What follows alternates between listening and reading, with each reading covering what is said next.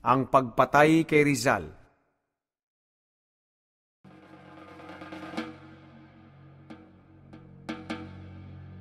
Ibig ba ng bilanggong malagyan ang piring sa mata? Hindi na, salamat. Hindi na kailangan. Noong ikatatlumpu ng Desyembre 1896, matapos ang isang huwad na paglilitis na naghatol sa kanyang nagkasala sa kasong pagtataksil sa Espanya. Inihatid si Jose Rizal ang matalinong tanglaw at tinig ng katwiran sa kanyang huling hantungan sa Maynila. Bagaman hindi niya inayunan ang armadong pakikibaka, ang mga nagawa ni Rizal upang maghatid ng mga reformang politikal sa pamamagitan ng kanyang mga sinulat ang naging kasawian niya. Dahil itinuring ng kanyang mga kaaway ang mga sinabi niya bilang nag-uudyok sa mga Pilipino ng paghihimagsik. Hanay! Ihanda ang mga sandata! Bilang huling paghamak, ipinagkait ng mga Kastilang otoridad kay Rizal ang kahilingan niyang mamatay ng nakaharap sa mga hanay na babaril sa kanya.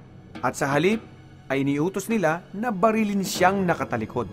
Bagaman sa huli, hindi pumayag si Rizal na mapagkaitan siya. Preparen! Apunten! Fuego! Bago bumagsak sa lupa, sinika pumihit ni Rizal upang mabuwal ng nakatihaya.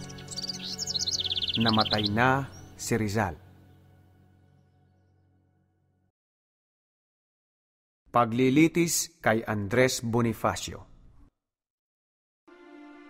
Isa sa pinakamalalagim na kabanata ng Rebolusyong Pilipino ang paglilitis at pagpatay kay Andres Bonifacio. Kung wala ang magiting na pangarap ni Bonifacio, maaaring hindi naganap ang himagsikan laban sa Espanya.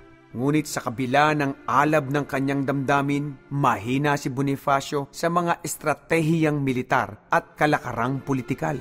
Habang dumarami ang mga kabiguan niya sa labanan, dumarami rin ang pagtatagumpay sa Cavite ng isang bagong pinuno ng katipunan, si General Emilio Aguinaldo.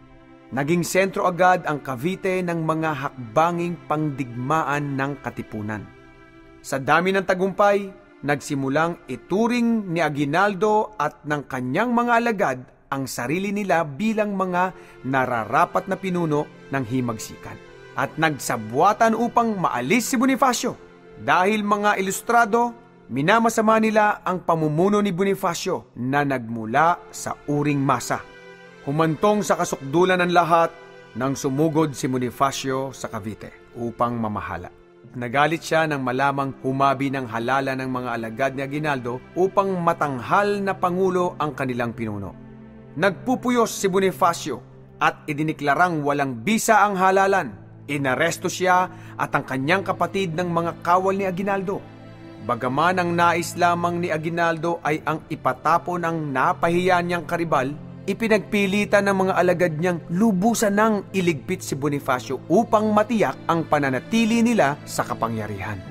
Kaya noong ikasampu ng Mayo, 1897, ang nagtatag ng katipunan at ang kapatid niyang si Procopio ay pinatay.